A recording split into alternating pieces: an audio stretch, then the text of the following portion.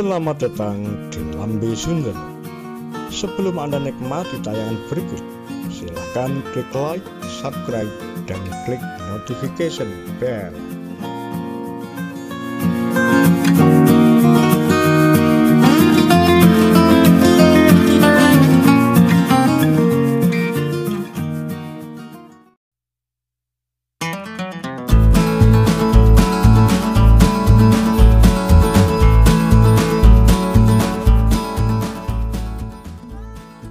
Arif Poyono sukses bikin kadrun kebakaran jenggot massal soal isu PKI.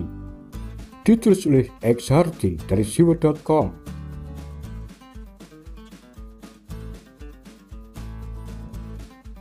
Tagar tenggelamkan Gerindra mendadak ramai setelah pernyataan Waketum Gerindra Arif Poyono mengenai PKI dimunculkan oleh kadrun menuai polemik.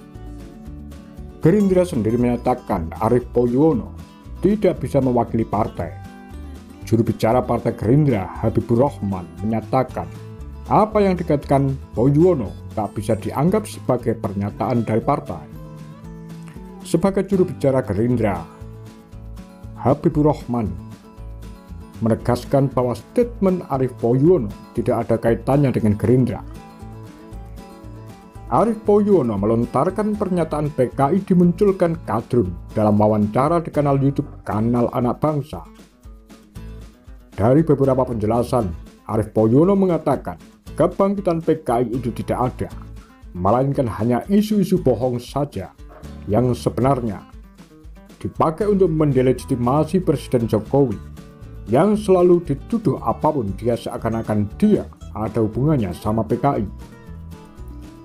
Dia mengatakan ada keanehan di mana isu ini hanya muncul di era Jokowi saja. Di era SBY dan Megawati tidak ada.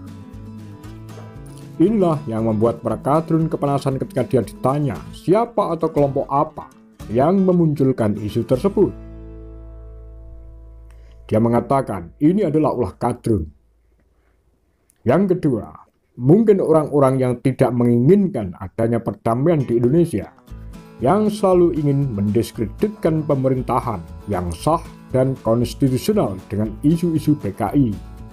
Intinya, dia mengatakan isu PKI itu tidak ada, hanya rekayasa untuk mendelegitimasi pemerintahan Presiden Jokowi. Secara objektif, orang ini benar-benar tidak tahu siapa lagi yang bikin isu PKI selain para kadrun yang diternak oleh kelompok elit haus kekuasaan. Isu musiman ini selalu digoreng meski tidak laku. Mereka yang benci pemerintah selalu membuat tagar aneh. Tapi giliran diminta tunjukkan bukti, mereka malah diam dan alihkan topik pembicaraan. Tiap tahun teriak PKI, tapi pas ditanya PKI di mana, siapa membernya, di mana markasnya, mereka sendiri bingung tak tahu apa jawab mereka. Selalu kuar-kuar PKI akan bangkit dengan megah meriah gegap gempita. Padahal batang hidungnya pun tidak nongol sama sekali. Coba pikirkan betapa para kadrun promosikan kebangkitan PKI dengan masif. Orang yang percaya dengan isu bodoh ini kira-kira harus disebut apa? Dan satu lagi, kalau Poyono salah, Kenapa kadrun kepanasan hingga muncul tagar itu? Berarti mereka merasa disindir dan memang mereka lah biang keroknya. Sekali bodoh tetaplah bodoh, sampai lebaran kuda sampai kudanya loyo tak sanggup berjalan lagi. Hanya orang-orang bodoh yang percaya dengan isu bikinan kadrun dan kelompok elitnya. Hari kini masih sibuk bahas PKI. Mbahnya komunis saja sudah mengarah ke kapitalis dan hampir melampaui ekonomi Amerika Serikat. Komunis murni itu hanya laku di negara yang masih kacau, miskin dan pemerintah hanya diktator. Indonesia sudah lumayan makmur, demokrasi sudah bagus dan berjalan baik. Komunis dianggap tidak bertuhan, bagaimana bisa laku di negara yang mana agama itu penting? Bilang aja, kepingin banget negara ini hancur berkeping-ping, lalu solusinya adalah khilafah. Justru ormas radikal berjubah agama dan para pemimpin khilafah yang mulai bangkit dan terang-terangan ingin mengubah ideologi negara ini.